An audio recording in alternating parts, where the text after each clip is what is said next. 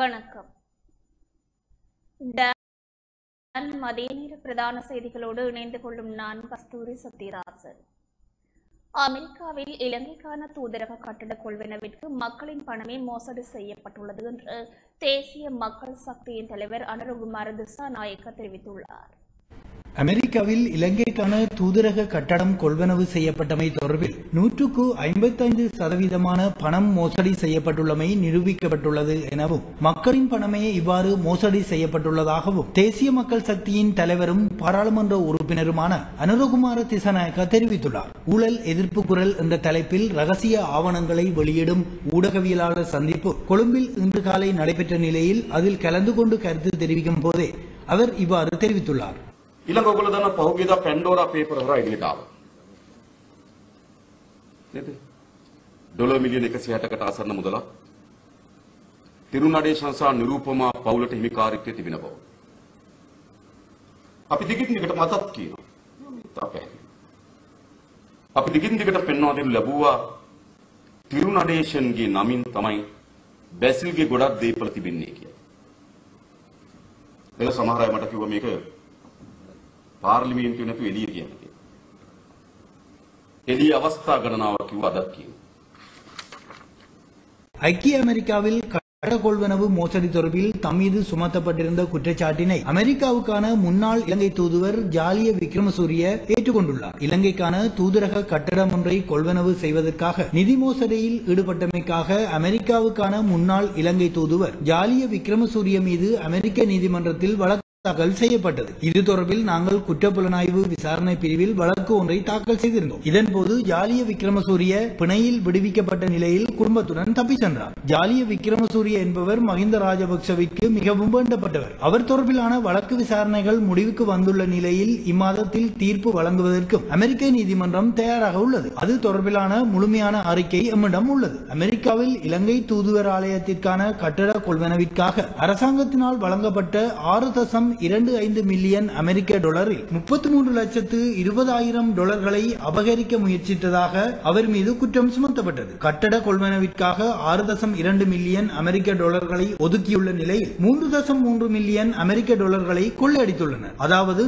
நூற்றுக்கு ஐம்பத்தி ஐந்து சதவீத பணத்தை கொள்ளையடித்துள்ளனர். இந்த நிலையில் அவர் அமெரிக்க நீதிமன்றத்தில் அந்த குற்றத்தை ஒப்புக்கொண்டுள்ளார். இது எமது நாட்டு மக்களின் பணம். அடுத்ததாக அண்மையில் பெண்டோரா அறிக்கை வெளியானது. நூற்று அறுபது மில்லியன் அமெரிக்க டாலர் நிருபமா நடேசன் குடும்பத்திற்கு உரிமையாக்கப்பட்டுள்ளமை தொடர்பில் அறிக்கைகள் வெளியாகின. நாம் தொடர்ச்சியாக இதனை கூறி வந்தோம். திரு நடேசனின் பெயரில் தான் பசில் ராஜபக்சவின் சொத்துக்கள் பல இருக்கின்றன என்பது தொடர்பில் நாம் தொடர்ச்சியாக கூறி வந்தோம். இதனை பாராளுமன்றத்தில் கூறாமல் வெளியில் கூறுங்கள் என்றார்கள். வெளியில் பல இடங்களில் நாம் இதனை கூறி வந்தோம் මෙවැනි කිසි දෙයකින් එළිදරව් වීමට පෙර අපි එළිදරව් කරලා දෙදී.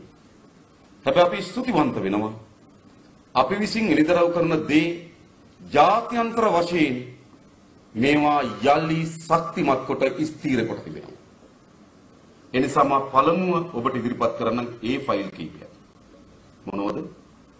අප ළඟ තිබෙන අප පැමිණිලි දමා තිබෙන විටින් විට අපි පාර්ලිමේන්තුවේ ඉදිරිපත් කරනද එහෙත් කිසිදු පරීක්ෂණ ක්‍රියාවලියක් ඉදිරියට නොගිය එහෙත් ජාත්‍යන්තරයේදී විවිධ අවස්ථාවල එළිදරව් වූ කරුණු මම එකින් එකින් එක ඔබට තෝරා ගන්නම්. நாட்டு மக்களின் பணத்தை கொள்ளையடித்ததன் விளைவையே இன்று நாடு எதிர்கொண்டுள்ளது என்று மக்கள் விடுதலை முன்னணியின் தலைவர் அனுருகுமார் திசாநாயக்க தெரிவித்துள்ளார். தொழில் பறிபோகலாம் என்ற அச்சம் இருந்தாலும் கூட எம்மீது கொண்ட நம்பிக்கையின் காரணமாக அரசு அதிகாரிகள் சிலர் ஊழல் மோசடிகள் தொடர்பிலான தகவல்களை தமக்கு வழங்கியுள்ளதாக தேசிய மக்கள் முன்னணியின் தலைவரும் பாராளுமன்ற உறுப்பினருமான அனுரகுமார திசநாயக்க தெரிவித்துள்ளார் ஊழல் எதிர்ப்பு குரல் என்ற தலைப்பில் ரகசிய ஆவணங்களை வெளியிடும் ஊடகவியலாளர் சந்திப்பு கொழும்பில் இன்று காலை நடைபெற்ற நிலையில் அதில் கலந்து கொண்டு கருத்து தெரிவிக்கும் போதே அவர் இவ்வாறு தெரிவித்துள்ளார் ඒක එක ඒ කියන්නේ අපේ අවශ්‍යතාවයන් සඳ වෙනද අපි ටෙන්ඩර් ප්‍රතිපාටි ඉදි කරන්නේ අපිට අවශ්‍ය වෙන ව්‍යාපෘතිය තෝරාගෙන අපි අවශ්‍ය ව්‍යාපෘතිය වෙනුවෙන් ටෙන්ඩර් කරනවා ඒක තමයි සාමාන්‍ය ක්‍රියාවලිය. හැබැයි 2011න් පස්සේ ක්‍රියාවලිය දියත් වුණා. අවශ්‍ය තාව නෙවෙයි ඒජන්සියකට පුළුවන් නැවිල්ලා මෙන්න අපි හම්බන්තොට වරාය හදන්න සැලසුම් කරලා තිබෙනවා. මෙන්න යන මුදල මෙන්න අපි යන මුදල හොයාගන්න ආකාරය මෙන්න ඇස්තමේන්තු මුදල කියලා ඉල්ලීමක් කරන්න පුළුවන්. අපේ රටේ ගොඩාක් ව්‍යාපෘති අපි හදන ලද ජාතික ආර්ථික සැලැස්මකට අනුව සිදුවෙච්ච ඒවා නොවේ.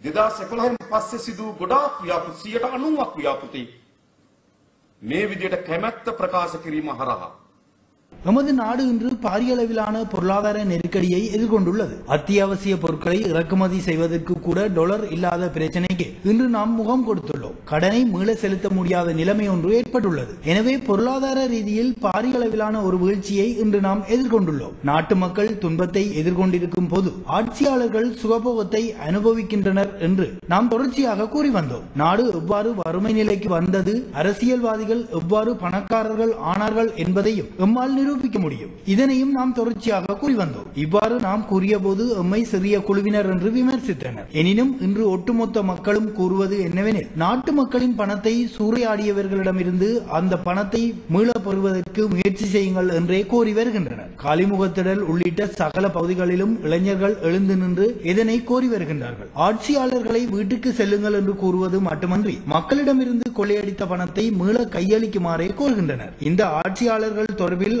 அவ்வப்போது முன்வைத்த விடயங்களை இன்று ஒட்டுமொத்த மக்களுக்கும் கூறும் நிலைமை ஏற்பட்டிருக்கின்றது. நாட்டு மக்களின் பணத்தை கொள்ளையடித்ததன் விளைவையே இன்று நாடு எதிர்கொண்டு இருக்கின்றது என்பதே மக்களின் கருத்தாக உள்ளது. இதற்கு முன்பு நாம் கூறியதை மக்கள் ஏற்றுக்கொள்ளவில்லை என்பதால் மீண்டும் இந்த ஆட்சியாளர்களின் ஊழல் மோசடிகளை சமூகத்தின் முன்னால் வைக்கின்றோம். எமது முன்னால் உள்ள இந்த அரசாங்கத்தின் ஊழல் மோசடி தொடர்பிலான தகவல்கள் அடங்கிய இந்த கோப்புகள் மிகவும் சிறியது. இந்த கோப்புகளை ஒட்டுமொத்த ஊழல் மோசடி விவரங்கள் என அர்த்தப்படுத்திக் கொள்ள வேண்டாம். இது சொற்பளவிலான தகவல் மட்டுமே. இதனை தாண்டி மேலும் பல தகவல்கள் உள்ளன. இந்த தகவல்களை பெற்றுக் கொடுக்கும் அதே நேரத்தில் நாட்டின் மிகச்சிறந்த எதிர்காலத்திற்காக நாம் பிரார்த்தித்துக் கொள்கின்றோம். அரசு அதிகாரிகள் பலர் தங்களது தொழில் பறிபோகும் என்ற பயத்தை எதிர்கொண்ட நிலையிலும் கூட எம்மீது கொண்ட நம்பிக்கையின் அடிப்படையில் சில தகவல்களை எமக்கு வழங்கியுள்ளனர். அரசாங்கம் உண்மை உண்மையை கூறவில்லையாயின் நீங்கள் நாட்டிற்காக உண்மையை கூறுங்கள் என்று கூறி சில நிறுவனங்களின் அதிகாரிகளும் இந்த தகவல்களை அவ்வப்போது எமக்கு வழங்கினர் අර ප්‍රතික්ෂේප කරලා ඒ වගේ අපේ රට අලුත් සංකල්පයක් හැදුනා කැබිනට් මණ්ඩලයේ අනුමැතිය හරහා ඕන එකක් කරන්න පුළුවන් ඕන එකක් කරන්න බෑ ද සංකල්පයක් තියෙනවා මම දැන් ගොඩක් තැන්වල කියලා මේ කැබිනට් මණ්ඩලයේ අනුමැතිය තියෙනවනේ කැබිනට් මණ්ඩලයේ අනුමැතිය තිබ්බ කියලා මොකද කැබිනට් මණ්ඩලයට එවැනි අනුමැතින් කරන්න පුළුවන්කම තිබෙන හදිසි මිලදී ගැනීම සඳහා එමුනා සුකමත් හදිසි මිලදී ගැනීම සඳහා வாழ்க்கை செலவை நிலையான வகையில் பேணிச் செல்ல ஜனாதிபதி தலைமையில் உபகுழு நியமிக்கப்பட உள்ளது வாழ்க்கை செலவை நிலையான வகையில் பேணிச் செல்வதற்கு ஜனாதிபதி தலைமையில் உபக்குழுவை நியமிக்க அமைச்சரவை அங்கீகாரம் வழங்கியுள்ளது ஜனாதிபதி தலைமையில் பிரதமர் அமைச்சர்கள் மற்றும் ராஜாங்க அமைச்சர்களை உள்ளடக்கிய உபகுழு ஒன்றை நியமிக்க அமைச்சரவை தீர்மானித்துள்ளது. அரசாங்கத்திற்கு எதிரான போராட்டத்திற்கு வலு சேர்க்கும் வகையில் தலவாக்கலையில் இருந்து இளைஞர் ஒருவர் நடைபவனியாக கொழும்பு காலை முகத்திடலுக்கு பயணத்தை ஆரம்பித்துள்ளார். கொழும்பு காலி முகத்திடலில் நடைபெற்றுக் கொண்டிருக்கும் அரசாங்கத்திற்கு எதிரான தொடர்ச்சியான போராட்டத்திற்கு மேலும் வலு சேர்க்கும் வகையில் இன்றைய தினம் காலை ஒன்பது முப்பது மணிக்கு தலவாக்கலை நகரிலிருந்து சசிகுமார் என்ற இளைஞர் நடைபவனியாக தனது போராட்டத்தை ஆரம்பித்தார். குறித்த இளைஞனின் தனிமனித நடைபவனி போராட்டம் காலி முகத்திடலில் நடைபெற்றுக் கொண்டிருக்கும் போராட்டத்தை மூன்று தினங்களில் அடைய உள்ளது. இன்று காலை தலவாக்கலை நகர மத்தியில் ஆரம்பித்த இந்த போராட்டத்தில் தலவாக்கலை லிந்துலை நகர சபையின் முன்னாள் தலைவர் மற்றும் தலவாக்கலை லிந்தர நகர சபையின் தற்போதைய உறுப்பினரும் மலேக மக்கள் முன்னணியின் மத்திய குழு உறுப்பினருமான தாளமுத்து சுதாகரன் உள்ளிட்ட பலர் கலந்து கொண்டனர். அதனைத் தொடர்ந்து நடைபவனியாக சென்ற அவரை கொட்டகலையில் நகர வர்த்தகர்கள் சார்பில் வர்த்தக சங்க தலைவர் புஷ்பா விஸ்வநாதன் கொட்டகலை நகரில் வரவேற்பு செய்தாா் அவருடன் நகர மக்களும் உடனிருந்தனர் மாலை அணிவித்து ஆசி வழங்கி அவரின் போராட்டம் வெற்றி பெற வாழ்த்துக்களையும் தெரிவித்தனர். சமுத்திரத்தின் நித்திலம் இந்து சமுத்திரத்தின் கேந்திர நிலம் என அழைக்கப்படக்கூடிய எங்களுடைய இலங்கை திருநாடு கனிம வளம் காடு வளம் நீர் வளம் அனைத்து வளங்களையும் கொண்ட ஒரு நாடு. ரத்தின தூய்மம் என்று அழைக்கப்படும் நாடு. ரத்தினம் வந்து பூமிக்கடியில் கிடைக்கக்கூடிய ஒரு நாடு. உலகின் சொர்க்கம் என அழைக்கப்படக்கூடிய எங்களுடைய இந்த இலங்கை திருநாடு இன்று அதல பாதாளத்துக்கு தள்ளப்பட்டுள்ளது. இதற்கு தனிப்பட்ட ஒரு குடும்ப அரசாங்க உறுப்பினர்களே காரணமாக இருக்கிறார்கள். அவர்கள் காரணமாகவே இந்த நாடு இன்றைய வந்து செழிப்பு செழிப்பற்ற ஒரு நாடாகவும் வறுமையை நோக்கி வறட்சியை மிக்க ஒரு நாடாகவும் மாறிக்கொண்டிருக்கின்றது. ராஜபக்ச குடும்பம் அவர்களிடமிருந்து இந்த நாட்டை காப்பாற்றி நாட்டை சரியாக வழிநடத்தக்கூடிய ஒரு தலைவரின் கையில் இந்த நாட்டை கொடுத்து மேலும் இந்த நாட்டை கட்டியெழுப்ப வேண்டும். அதற்காக மாபெரும் போராட்டம் ஒன்று நடைபெற்றுக் கொண்டிருக்கிறது காலிமுக அந்த போராட்டத்துக்கு வலு சேர்க்கும் மூலமாக தளவாக்கலை மக்கள் வாழ் சார்பாக இன்று இந்த நடைப்பயணத்தை நான் ஆரம்பிக்கிறேன். முதலாவதாக கோட்டபாயை ஆட்சிக்கு வரணும்னு முயற்சி செஞ்சு ஆட்சிக்கு கொண்டு வந்தது இளைஞர்கள் தான். பல எதிர்பார்ப்புகளுடன் இளைஞர்கள் ஆட்சிக்கு கொண்டு வந்தாங்க கோட்டபாய அரசாங்கத்தை. ஆனால் இன்னைக்கு விரக்தி அடைஞ்சு அதிகூடிய பிரச்சனையில இருக்கிறது இளைஞர்கள் தான் இன்னைக்கு ஒரு ஒரு வீடு கட்டுற ஆசையோ ஒரு திருமணம் முடிக்கிற ஆசை கூட இல்லாத நிலைமையில இன்னைக்கு நாடு சீரழிஞ்சு போனதுக்கு முழு இளைஞர்களும் இன்னைக்கு கோட்டபாய்க்கு எதிராக வாக்களிக்கிறதுக்கும் கோட்டபாயை வீட்டுக்கு அனுப்புறதுக்காக முயற்சியில இறங்கியிருக்காங்க. பாரதிய ஜனதா கட்சியின் தமிழ்நாடு மாநில தலைவர் அண்ணாமலை மன்னர் திருக்கேதீஸ்வர ஆலயத்துக்கு விஜயம் செய்தார்.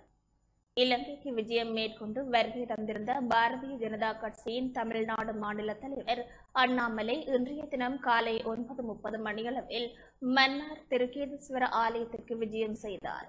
ஆலயத்திற்கு விஜயம் செய்த பாரதிய ஜனதா கட்சியின் தமிழ்நாடு மாநில தலைவர் அண்ணாமலை உள்ளிட்ட குழுவினர் திருக்கேதீஸ்வர ஆலயத்தில் பூஜை வழிபாட்டில் ஈடுபட்டனர். அதனைத் தொடர்ந்து இந்திய அரசின் நிதி உதவியுடன் புனரமைக்கப்பட்டு வரும் திருக்கேதீஸ்வரா ஆலய கட்டுமான பணிகளை பார்வையிட்டதோடு திருக்கேதீஸ்வரா ஆலய நிர்வாகத்தினருடன் கலந்துரையாடினர். இதன்போது இலங்கை தொழிலாளர் காங்கிரஸ் கட்சியின் தலைவர் செந்தில் தொண்டமானம் உடனிருந்தார்.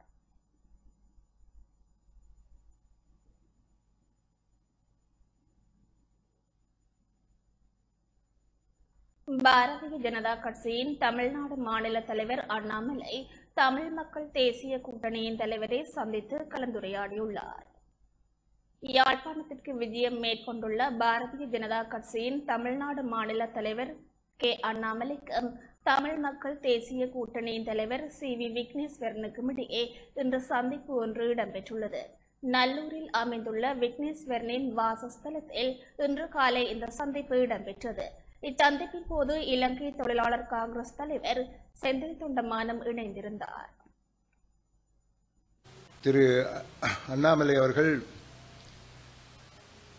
எங்களுடைய கருத்துக்களை அறிந்து கொள்வதற்காக தம்முடைய கட்சி சார்பிலும் பிரதமர் மோடி சார்பிலும் இங்கு வந்திருப்பது எல்லோரும் அறிந்ததே. அந்த அடிப்படையிலே மோடி அவர்களுக்கு பொருளாதார ரீதியாக அல்லது எங்களுடைய ந- ம- மக்கள் ரீதியாக சொல்ல வேண்டிய சில ஏதாவது விடயங்கள் இருக்கின்றதா என்று கேட்டபோது நான் அரசியல் ரீதியான விடயங்களை பற்றி கூற விரும்பவில்லை. அதை வேறு விதமாக நான் பின்னர் கூறினேன். முக்கியமாக நான் கூறியது பராளி விமான தளத்தை மிக விரைவிலே திறக்க வேண்டும். தென்னிந்தியாவுக்கும் வட இலங்கைக்கும் இடையில் படகு சேவை மிக விரைவிலே தொடங்க வேண்டும். இவற்றினால் பல இரு நாடுகளின் இடையிலும் கூடிய நெருக்கம் ஏற்படலாம் என்று அவற்றை உடனே செய்ய வேண்டும் என்று கோரினேன். அதுக்கு அவர் நேற்றைய தினம் பலாரி விமானத்தளத்தையும் அந்த இறங்குதுறையும் படகு இறங்குதுறையையும் போய் சென்று பார்த்து வந்ததாக கூறினார். தாங்கள் இது சம்பந்தமாக நடவடிக்கைகள் எடுக்க இருப்பதாகவும் கூறினார். ஆகவே அது எங்களுக்கு ஒரு முக்கியமான விடயம். அதை விட இங்கு திரு ஸ்டாலின் அவர்களால் தரப்படும் உணவுப் பொதிகள் மத்திய அரசாங்கத்தினுடைய அனுசரணையுடன் அவர்களுடைய அனுமதியுடன் இங்கு வரப்போவதாக அறிவித்தார். அதை என்னுடைய கருத்தின்படி நான்காக பிரித்து வடக்கு மாகாணத்துக்கு நாளில் ஒரு பங்கு கிழக்கு மாகாணத்துக்கு நாளில் ஒரு பங்கு மலையகத்தில் நாளில் ஒரு பங்கு தெற்கு மாகாணத்து நாளில் ஒரு பங்காக பிரித்தால் நல்லது என்று என்னுடைய கருத்தை தெரிவித்தேன். அவர்கள் அதை க- மனதிற்கு எடுப்பதாக கூறினார். ஆனால் அது சம்பந்தமாக பலரும் பேசி ஒரு முடிவுக்கு வருவார்கள் என்று கூறினார்.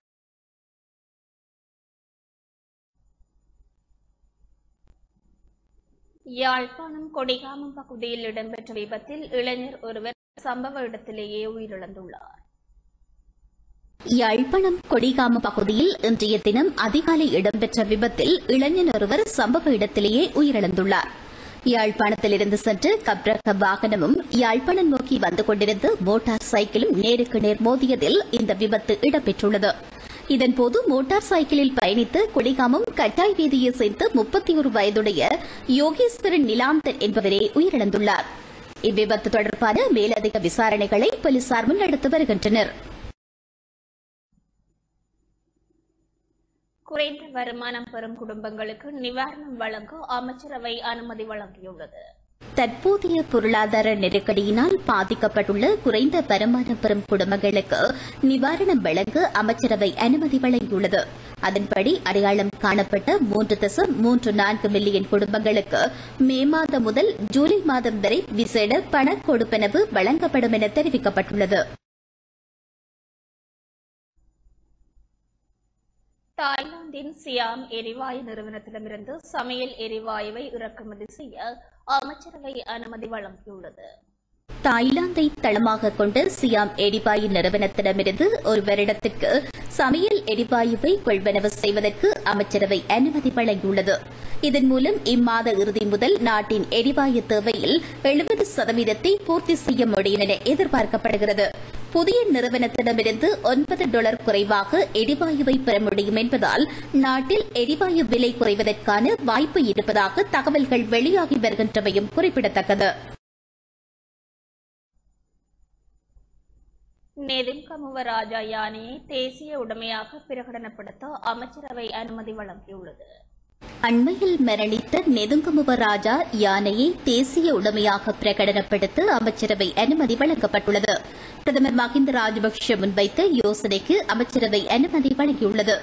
நாட்டின் பிரதான விகாரைகள் பலவற்றில் பெரகர ஊர்வலங்களில் நெதுன்கமுவ ராஜா யானை பங்கேற்றுள்ளது.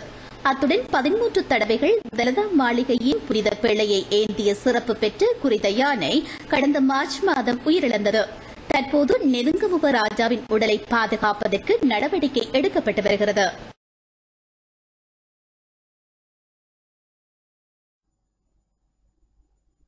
தேசிய தொழிற்சங்க கூட்டமைப்பு மே ஆறாம் தேதி நாடு தழுவிய ஹர்த்தாலுக்கு அழைப்பு விடுத்துள்ளது.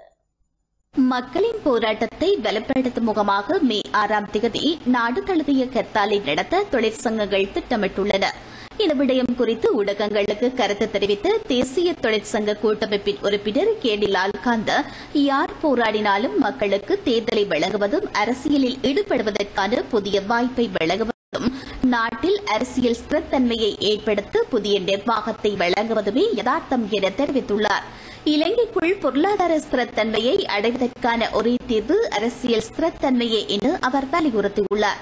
அதேபோல மக்களின் வெற்றியை எதிர்பார்த்து இந்த ஹர்த்தால் முன்னெடுக்கப்பட உள்ளதாக தேசிய தொழிற்சங்க மத்திய நிலையம் தெரிவித்துள்ளது. இதேவேளை மக்களை மேலும் ஒடுக்காமல் ஜனாதிபதி பிரதமர் உள்ளிட்ட அரசாங்கம் பதவி விலக வேண்டும் என்பதே மக்களின் ஒரே கோரிக்கை என இலங்கை ஆசிரியர் சர்வீஸ் சங்கத்தின் பொதுச் செயலாளர் மஹிந்த ஜெயசிங்க தெரிவித்துள்ளார். மேலும் உழைக்கும் மக்கள் ஒற்றுமையாக இருக்கிறோம் என்பதை முழு நாட்டு மக்களுக்கும் தெரிவிக்கும் செய்தியாக மே ஆறாம் தேதி நடைபெறும் கர்த்தால். அரசாங்கம் பதவி விலகும் வரை போராட்டத்தை முன்னெடுத்து செல்லும் என அபிவிருத்தி உத்தியோகத்தர் சேவை சங்கத்தின் பொதுச் செயலாளர் சந்திர சூரியராட்சி தெரிவித்தார். இதே நேரம் தொழிற்சங்க பிரிவின்றி சுகாதார ஊழியர்களும் எதிர்வரும் ஆறாம் தேதி ஹர்த்தாலில் ஈடுபட உள்ளதாக அகில இலங்கை வைத்திய அதிகாரிகள் சங்கத்தின் செயலாளர் வைத்தியர் ஜெயந்த பண்டார தெரிவித்துள்ளார்.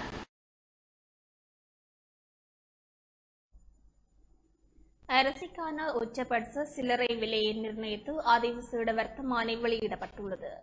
அரிசிக்கான உச்சபட்ச சில்லறை விலையை நிர்ணயித்து நுகர்வோர் விவகார அதிகார சபையினால் அதிவிசேட வர்த்தமானி அறிவித்தல் வெளியிடப்பட்டுள்ளது.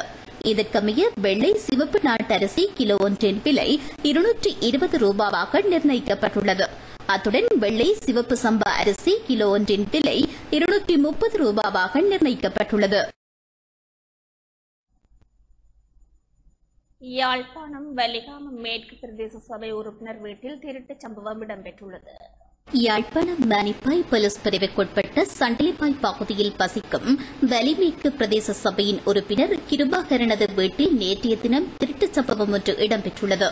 வீட்டில் யாரும் இல்லாத சந்தர்ப்பத்தில் அவரது வீட்டினை உடைத்து உள்ளே நுழைந்த திருடர்கள் எரிவாயு சிலிண்டர் கிரைண்டர் வங்கிக் கணக்கு புத்தகம் மற்றும் வங்கி தானியங்கி இயந்திர அட்டை என்பனவற்றை களவாடிச் சென்றுள்ளனர். பிரதேச சபையின் உறுப்பினர் வீட்டிற்கு வந்து பார்த்த வேளை வீடு உடைத்து திருட்டுப் போயிருந்த விடயம் அவருக்கு தெரியவந்துள்ளது யாழ்ப்பாணம் வடமராட்சியில் மதபோதையில் குழுக்களுக்கிடையில் இடம்பெற்ற மோதலில் ஒருவர் கொல்லப்பட்டுள்ளார்.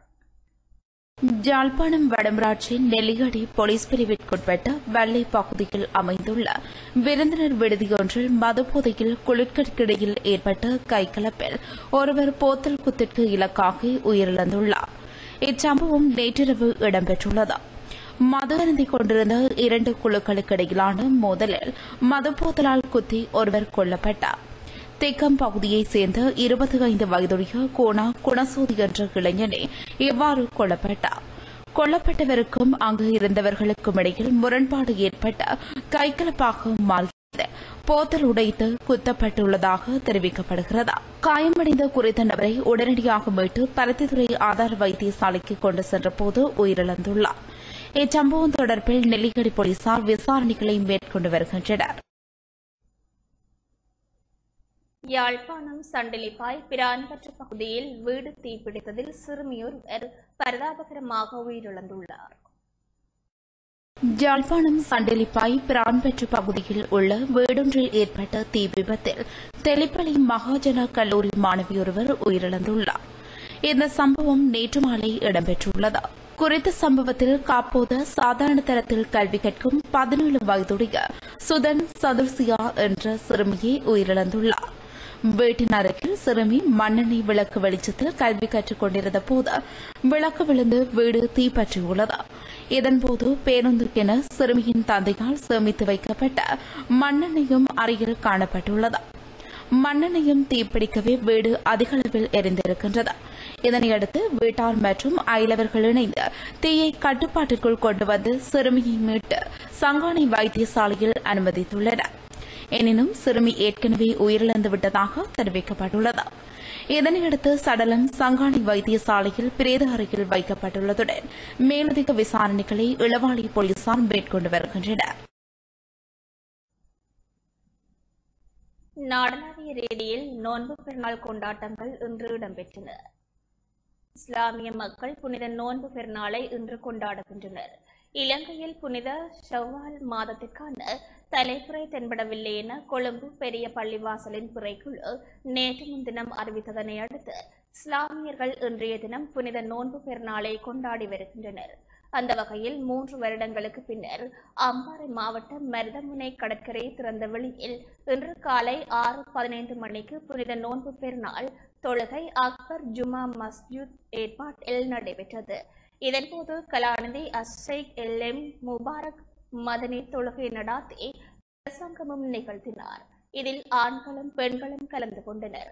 அம்பாறை மாவட்டத்தின் நட்பிட்டி முனை கல்முனை சம்மாந்துரை நிந்தவூர் அக்கரைப்பற்று பொத்தவில் உள்ளிட்ட முஸ்லிம் மக்கள் செறிந்து வாழும் பகுதிகளிலும் பெருநாள் தொழுகைகள் இடம்பெற்றன. பெருநாள் தொழுகைகளில் பல்லாயிரக்கணக்கான மக்கள் கலந்து கொண்டிருந்தனர். இதேவேளை மட்டக்களப்பு காத்தான்குடி கடற்கரையிலும் நோன்பு பெருநாள் தொழுகை இன்று காலை இடம்பெற்றது. காத்தான்குடி இஸ்லாமிக் சென்டர் நிறுவனத்தின் ஏற்பாட்டில் இடம்பெற்ற பெருநாள் தொழுகையையும் குத்பா பிரசங்கத்தையும் அஷேக் M C M Rizwan Madani நடாத்தி வைத்தார். பெருநாள் தொழுகையில் ஏராளமான இஸ்லாமிய மக்கள் கலந்து கொண்டிருந்தனர்.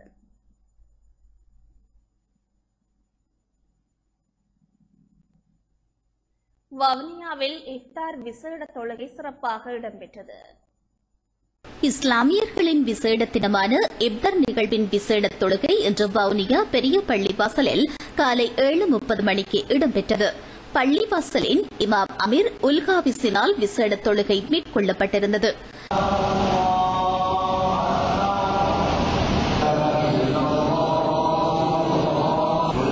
இதேவேளை வவுனியா தவ்கீத் ஜமாத் பள்ளி வாசலிலும் விசேட தொழுகை இடம்பெற்றிருந்தது.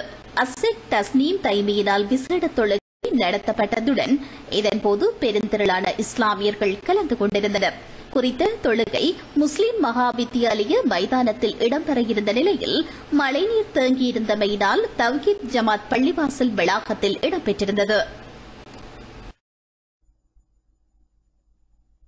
நோன்பு பெருநாள் விசேட தொழுகை யாழ்ப்பாண பள்ளிவாசல்களிலும் இடம்பெற்றன. யாழ்ப்பாண முஸ்லிம் மக்களின் ரமலான் நோன்பு பெருநாள் தொழுகை காலை ஆறு நாற்பத்தி ஐந்து மணியளவில் யாழ்ப்பாணம் ஒஸ்மானிய கல்லூரி டின்னா மைதானத்தில் இடம்பெற்றது.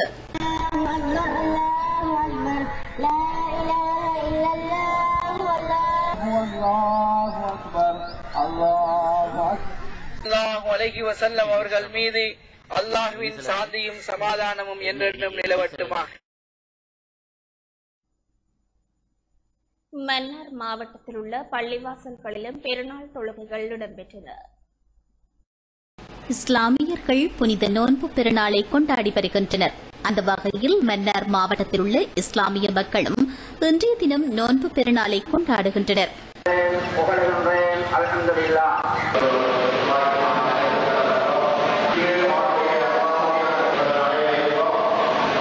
மன்னார் மூர்வீதி ஜும்மா பள்ளி வாசலில் காலை எட்டு மணியளவில் பெருநாள் தொழுகைகள் இடம்பெற்றன. காலை ஏழு மணிக்கு பெண்களுக்கும் காலை எட்டு மணியளவில் ஆண்களுக்கும் பெருநாள் தொழுகை இடம்பெற்றது. பெருநாள் தொழுகை மோர்வீதி ஜுமா பள்ளிவாசலின் மௌலவி எம். ஆசிம் தலைமையில் நடைபெற்றது. இதன்போது நோன்பு பெருநாளின் முக்கியத்துவம் அல்குரான் சமய நற்சிந்தனைகள் பற்றியும் எடுத்து கூறப்பட்டது. மேலும் மாவட்டத்தில் உள்ள ஏனைய பள்ளிவாசல்களிலும் பெருநாள் தொழுகைகள் இடம்பெற்றன. நாட்டில் தற்போது ஏற்பட்டுள்ள பாரிய பொருளாதார நெருக்கடிகளுக்கு மத்தியில் மன்னார் மாவட்டத்தில் உள்ள இஸ்லாமிய மக்கள் அமைதியான முறையில் நோன்பு பெருநாளை கொண்டாடி வருகின்றமை குறிப்பிடத்தக்கது. இத்துடன் மதிய நேர பிரதான செய்தி அறிக்கை நிறைவு பெறுகின்றது. தொடர்ந்தும் டான்ஸ் செய்திகளோடு இணைந்திருங்கள். வணக்கம்.